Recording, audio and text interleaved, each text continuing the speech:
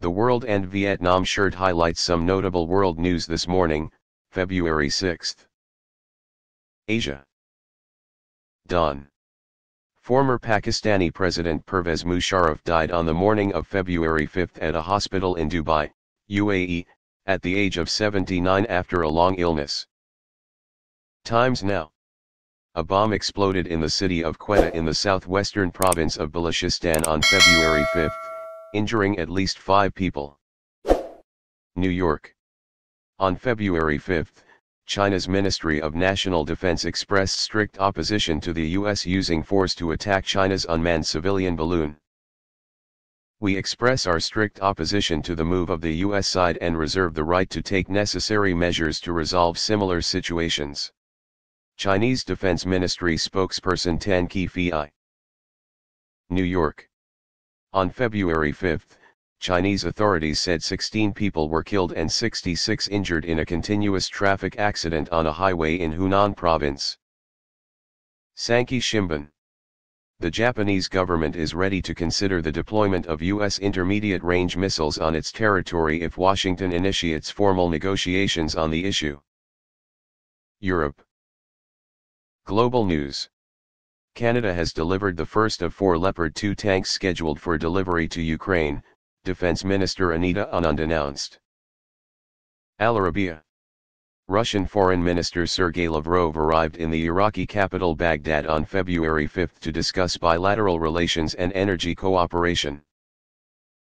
Sputnik Russian ambassador to Denmark Vladimir Barbin said that having discovered Danish mercenaries participating in the conflicts in Ukraine and Copenhagen did not prevent their recruitment.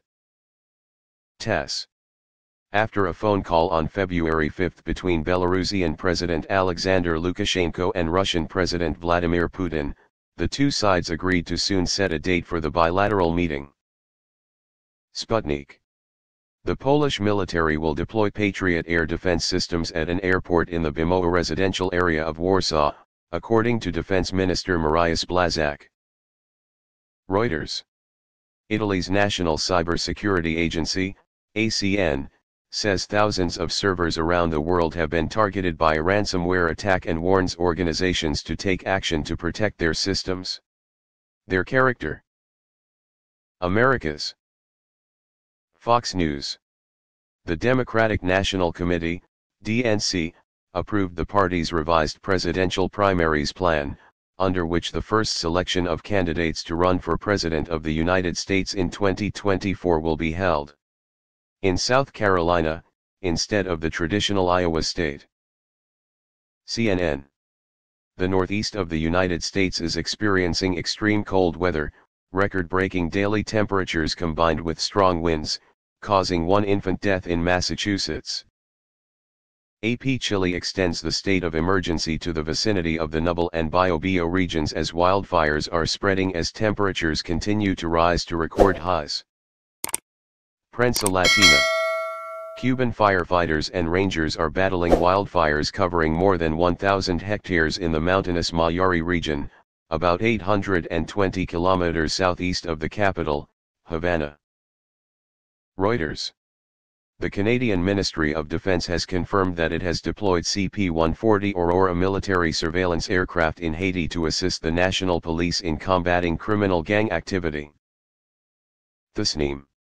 Cuban Foreign Minister Bruno Rodriguez Parrilla met with his Iranian counterpart Hossein Amir Abdollahian in Havana, discussing issues of mutual concern at the national and international level. Africa. MONUSCO a South African employee of the United Nations peacekeeping mission in the Democratic Republic of the Congo, MONUSCO, was killed and another injured in an attack on a helicopter in eastern DR Congo on February 5.